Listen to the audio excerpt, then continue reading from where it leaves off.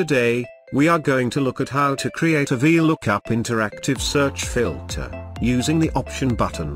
In this example, once I select the product ID, and the option button, the required intended product details are filtered accordingly.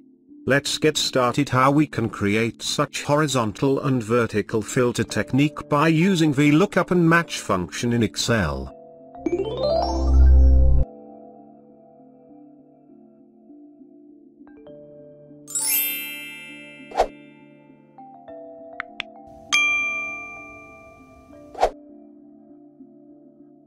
The table is given for the product sales summary, and we are going to create quick sales analyst option by using horizontal and vertical search options. Once I select the product ID from the selection, the intended data to be extracted, such as product name, category and sales agent, in cell M8, I am going to filter the text such as buying price, selling price, total sales, and sales ranking by using option button. So, I am going to add an option button from the developer tab. If you can't see the developer tab, right click anywhere on the ribbon blank space, and choose the customize ribbon. The pop-up window appears, from the main tab, check to activate the developer tools ribbon. Select the option button control from the form control, and drag on the sheet to insert an option button. Next, change the text same as given in the data table header.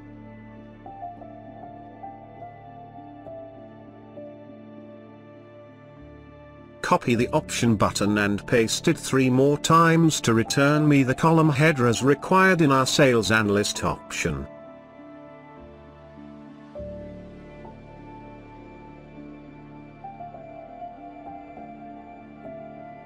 Select the option buttons by holding down the shift key, and right-clicking the mouse. Select shape format, and align equal horizontal space, and middle alignment to arrange the option buttons nicely. Next, right-click on any option button, and select Format Control.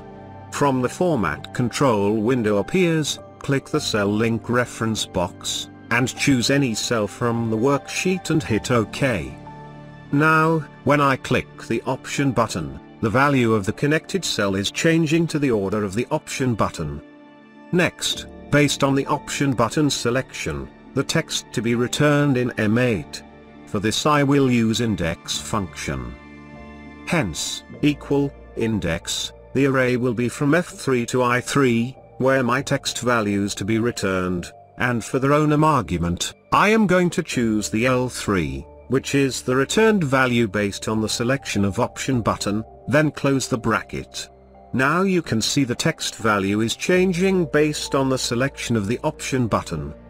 To return me the product name, I am going to use VLOOKUP function in cell N5. So, VLOOKUP, the lookup value will be my product ID then table array will be from B4 to K54.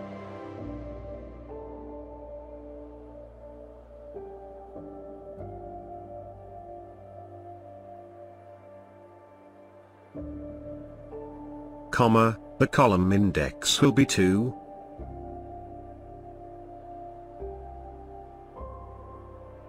With exact match, and close the formula.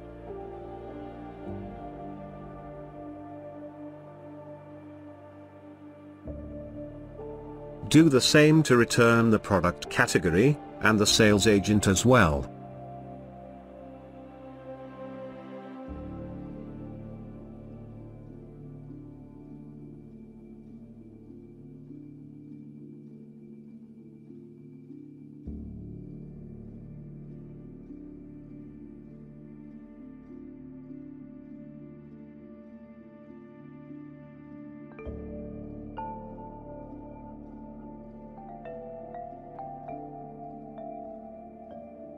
Okay, next, in N7, we need both vertical and horizontal search formula.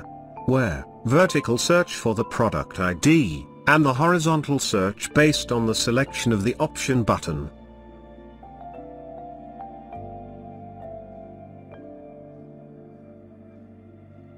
So, equal VLOOKUP.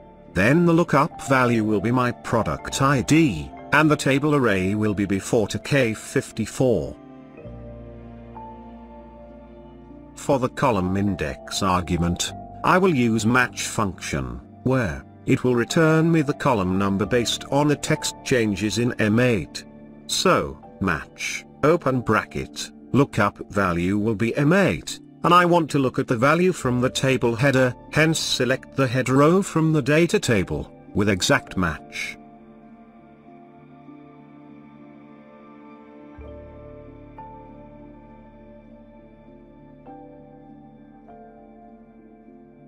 Okay, we have created our Excel horizontal and vertical filter options.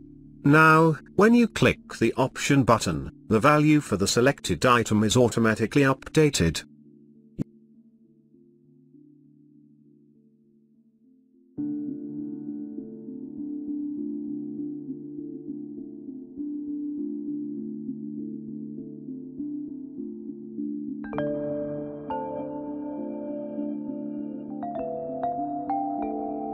You can download the this Excel template from the link in the description, and we have done it for today.